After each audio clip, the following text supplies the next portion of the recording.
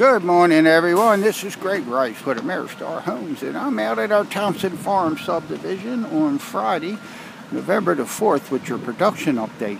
In front of you here, you can see our new model, the Taft model. Um, Interior-wise, uh, it is a beautiful home. Nice two-story foyer, great spaces. Uh, every bedroom has its own walk-in closet. This is a great home on a on, on, on, a, on a wonderful design community here. Um, I'm sure by appointment we could walk customers through this this weekend. But anyway, the exterior of the house, eh, I just met the siding contractor. We're going to make some subtle changes on the outside to enhance the uh, facade a little bit over the weekend and Monday. And uh, right now we're preparing the, uh, the exterior walls on the front of the house for the stone to be installed.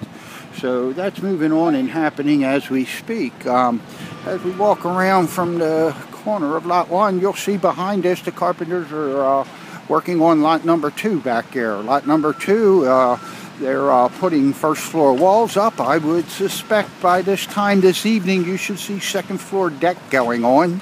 I do understand this crew is working over the weekend, so um, middle of next week I would think you see the trusses uh, installed. Uh, trusses that you see in a pile here right now.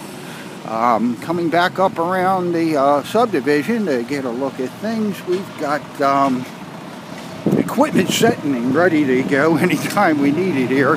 But what you'll also see is lot number five in front of you. Uh, lot number five, the uh, lumber package has been delivered today. That lumber package has not even been completely offloaded before the carpenters are out here uh, getting ready to uh, start the framing. They're setting the steel and putting the plates on now. I would think by the end of the day you should see the first floor walls up on this house. This is a very quick moving carpentry crew coming out here today. Does a wonderful job for us. I am going to uh, look around the corner here as you, uh, in front of you, you see our lot number eight.